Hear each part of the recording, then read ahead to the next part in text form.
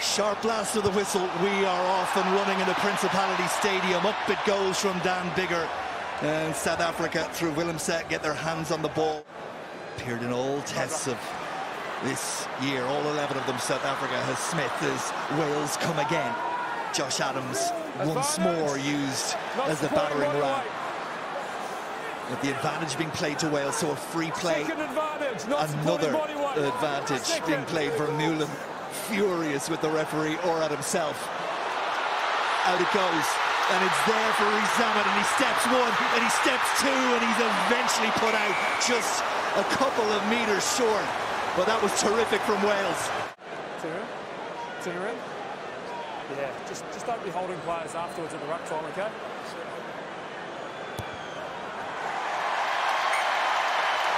Over it goes from Dan Big. Certainly, and when the likes of Alun Wyn Jones, their captain, their talisman, we know now he's going to be out for some time. You can only imagine how much that affected the camp, but we are seeing a reaction here today. Well, like I said, 10 minutes won't do it against the world champions. It's going to have to be for the full 80. That's a lovely kick, really lovely from Jantjies, but we'll go back for a penalty. 568 international points from the boot of Pollard. And up go the flags, and there's another three. Yeah, Chased by Johnny McNicholl, and it was a really good chase, and Taine Basham was there to get a hold of the ball. Wales have another advantage. McNicholl around the back goes Biggar, and now Jonathan Davies, and outside him is Adams, who steps inside Vermeulen, and on he goes. Adams, about 10 metres short now. Back to the 22, crossfield kick. Zammit under advantage. Just couldn't get there. Just couldn't get there. Rain continues to pour down. Doesn't make a whit of difference to Biggar. Up go the flags. Wales value for their three-point lead. They lead it by six points to three. And Vermeulen to anchor it out. Jantjies gets the ball in South Africa. Move forward. They have the advantage from a powerful, powerful scrum. You. Another advantage being played. Second penalty in this passage of play as Etzebeth comes crashing in from a long way away. de Allende little dink in behind, but Jonathan Davies stuck a boot out and stopped the ball from getting through. Still advantage to South Africa. None coming, and back will go for the penalty. Handré Pollard. As straightforward as it gets at this level, and success is the inevitable outcome, and six points apiece. Over. Down for Williams and Biggar. And Wales have a little bit of a buzz about them right now. Davies meets de Allende in midfield. Advantage being played again. Not releasing the man. Penalty to Wales. So there, you can see where Dan Biggar has been before. The green and the yellow not far away from that. That's the one that's about to happen. And it will go green and Wales will have nine points to South Africa six. Or the I should say, Yeah, is the one that makes the tackle. Williams, Basham, nice angle, good pace, gets a bit of forward momentum for Wales again. Biggar. Oh, that was close to high. Yeah, have we got a high tackle? The referee's going to have his TMO have a little look at that while the game goes on. It's ferocious tackling from. South Africa. They've forced Wales back a good tackle, one good. seven or eight metres. Little dink over the top. There's another collision in midfield, and I think the referee is going to have to get a hold of this.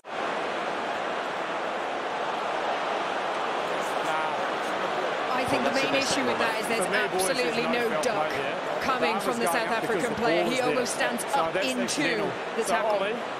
Ollie, You gave him a contact. Nah, listen, listen, it's going to be a yellow card, then I'll come back to you, okay? Well, whether you agree or disagree, the four officials have had a really good look at that. They've walked through it. They've made considered decisions, and they're clear in their decision-making process. Okay. It's been a dream day in terms of the positioning of the kicks for Dan Biggar so far.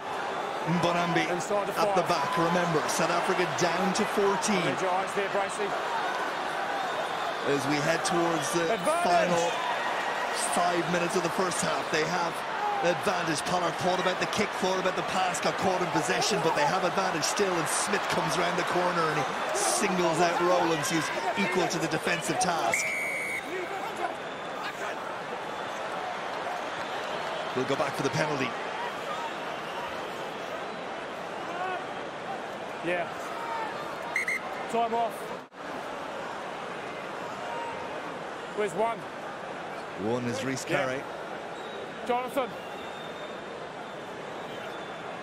We spoke about maul infringements down here last time. One's come straight around the side. It's going to be another yellow card. Well, it's another prop. Entry at the maul. In the bin. Back here. Rhys Carré makes his way. Jantjies once again. Rees Zammit too had that opportunity in the opening 10 minutes with a cross-field kick that just got away from him and that yeah. probably the closest we've come to a try for Wales in this first half. First real tester of a kick so for time, either it, outside half in this first Thank half. On its way, and it's good. It's really good because that was not straightforward and Pollard has shortened the gap. Biggar's boot got Wales out to 12. Pollard has three of his own. It gives South Africa nine. Tompkins who came up quickly and uh, that for a moment unsettled South Africa, but they still have the ball. de Allende. Big tackle from Jenkins and it's stolen by Wales. And downfield it goes from McNicholl, And back goes Kriel. And he's dealing with a bar of soap, and Adams saw a moment, but then backed off because he knew once Kriel got a hold of it, the tackle needed to be made, but Wales have gone from their own goal line to inside the South African half to a penalty.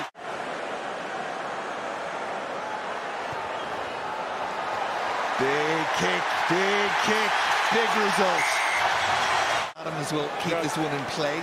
Always a risky pass in these conditions from that distance, but Biggar. Confident and comfortable. de Allende. Watch that one into the arms all day long.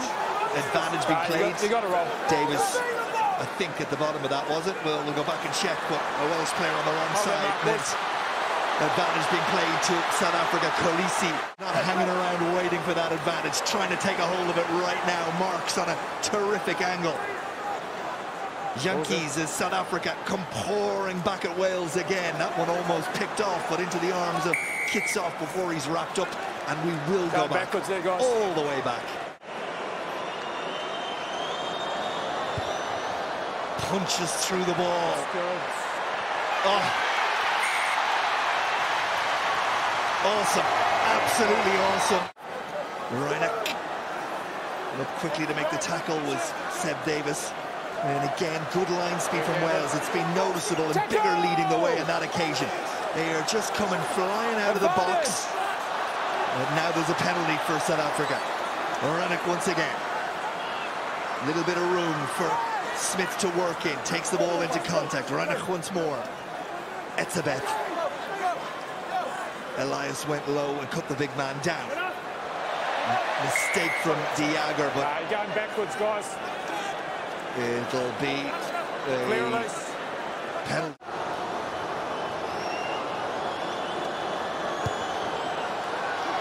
Flags go up, it's five penalties apiece, it's 15 points apiece.